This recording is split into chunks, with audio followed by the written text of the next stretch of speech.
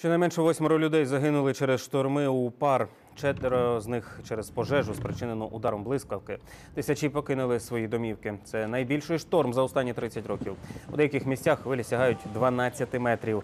Швидкість вітру до 90 км за годину. Найбільше постраждали люди з міських нетрів.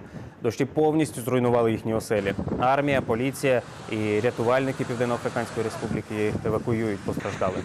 Людей забезпечують тимчасовим житлом і їжею.